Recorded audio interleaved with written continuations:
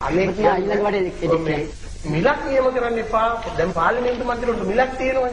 පාරි ඒ වගේ නේ දැන් නගර ප්‍රාදේශීය භාවවල මන්ත්‍රීවරුන්ට පක්ෂමාරු කරන්න කියලා කතා කතිකාවට. ඒවා අනවශ්‍ය කතා.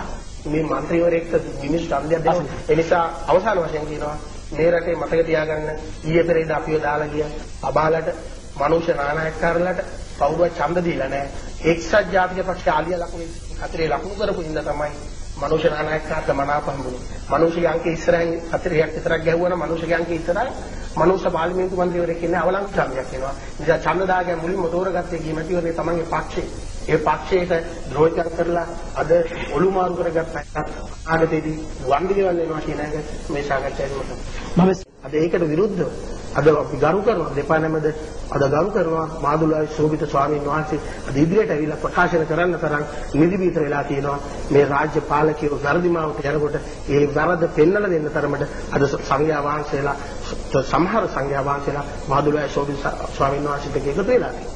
ඒ නිසා අපි කවුරුත් හිතා ගන්න ඕනේ මේ සංවේදීත්වය කොහෙද කියලා. ඒ නිසා අද දවසේ වෙනකොට මේ මැතිවරණ ක්‍රමය පිළිබඳව කතිකාවත උදේ ගම්මන්පිල මැතිතුමා බොහොම පැහැදිලිව ලංකාවේ බැම්බරුන්යාගේ ඉතිහාසය පළාත් පාලනය කිව්වා. අපි දන්නවා. නමුත් පළාත් පාලන ඡන්ද ක්‍රමයේ කියන්නේ අර පළාත් පාලන ඡන්ද කියපු ගම මොකද එන්නේ අපේ හිතට?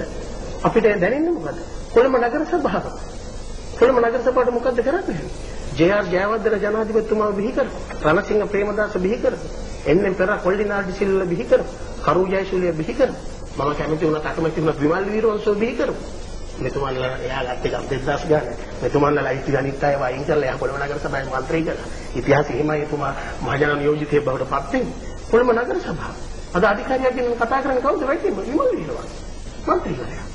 ඒ නිසා අද ඇයි මේ ඇයි මේ මැතිවරණ ක්‍රමයේ කියලා තමයි විශ්වාසය තියෙනවා මොකද කොළඹ නගර සභාව මේ මොකටද මේ ඉන්නද මේ මේ පිළිබඳව අපි නෑ මෙන්න තියෙනවා මොකද්ද මේ කාරණේ සලාප්පා නායතරන മന്ത്രിවරුන්ට පක්ෂමාරුවට ඉද මේවා තමයි යට තියෙන නිර්මාණ මේ මොකද්ද? අර පාරේ ලක්ෂ මිනිස්සු දීලා කට්ටිය ගන්නවා වගේ පහ පාරේදී මේගොල්ලන්ට ප්‍රණාගති පොඩි ගහන නිර්ණය කරන්නේ මිලක් තීන්දුව කරන්න මේ යන්නේ.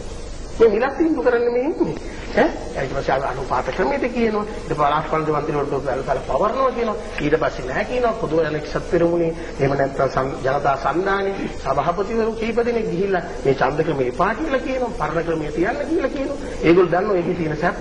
ඒ අද උදේ ගම්මන්පිල මැතිතුමා ඉන්න පළාත් සභාවේ. සහ මේ අද අද වෙනතුරු කඩුවෙල ප්‍රාදේශ සභාවේ සභාපතිවරයා සම්බන්ධයෙන් එල්ලා තියෙන චෝදනා වලට පිළිතුරක් දෙන්න හැකියාව ලැබිලා නැහැ බස්නායක පළාතේ මහත්මතුමා